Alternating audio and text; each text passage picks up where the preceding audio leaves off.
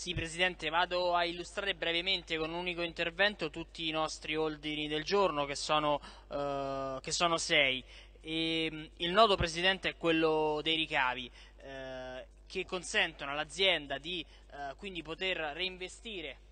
eh, le entrate sull'efficienza del servizio. E eh, andiamo a, a chiedere alcune misure per il controllo dell'evasione, quindi dalla vendita del titolo di viaggio a bordo all'installazione sempre a bordo degli autobus di alcune eh, barriere, di alcuni tornelli fisici che così impongano eh, l'entrata anteriore sull'autobus solamente eh, da parte di chi ha un titolo di viaggio eh, convalidato o un, o un, um, un abbonamento.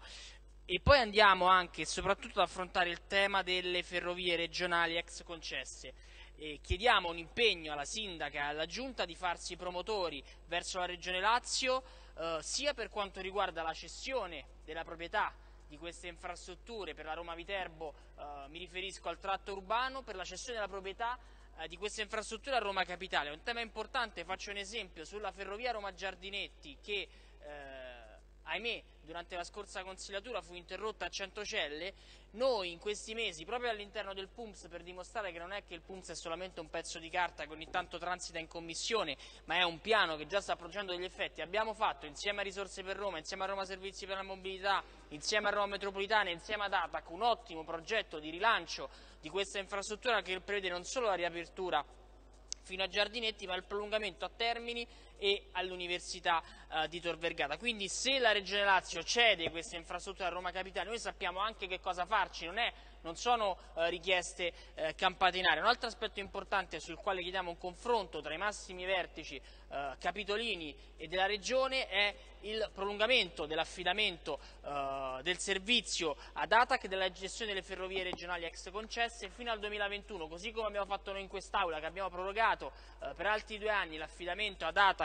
SPA del servizio di superficie e metropolitano, chiediamo che la Regione faccia lo stesso prorogando di altri due anni l'affidamento eh, mm, ad ATAC della gestione della Roma Lido, Roma Viterbo e Roma Giardinetti, così da dare una continuità al piano di concordato, poter ripagare meglio e prima i debitori e poter quindi investire nuove risorse sul, uh, sul servizio. E poi un altro aspetto importante, anche chiediamo una, uh, uno sforzo da parte di ATAC per... Silenzio in aula per favore, scusate. Chiediamo uno sforzo ad ATAC per ehm, trovare materiali rotabili, eventualmente anche facendo una ricognizione sulle altre linee da destinare alla Roma Lido, soprattutto visto che andiamo incontro al periodo estivo e sarà importante garantire un servizio adeguato per andare al mare ai tanti cittadini e tanti turisti. E poi l'ultimo aspetto, Presidente, un ultimo ordine del giorno, anche questo molto importante, chiediamo un impegno eh, alla Giunta e alla Sindaca per sedersi al tavolo ancora una volta con la Regione Lazio e rimodulare le quote Metrebus. Eh, sicuramente lei saprà, forse meno chi ci ascolta, che i 35 euro al mese che paghiamo di abbonamento, i 250 euro che paghiamo all'anno di abbonamento, l'euro e 50 che paghiamo del titolo giornaliero sono soldi che non entrano tutti ad ATAC, ma una percentuale di quei fondi vengono ripartiti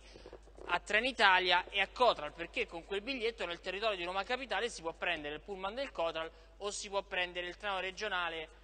come talvolta mi capita di fare, dalla stazione Ostiense alla stazione di Burtina, dico per dire, per, per intenderci. Però vogliamo che queste percentuali siano rimodulate, facendo riferimento all'effettiva offerta di servizio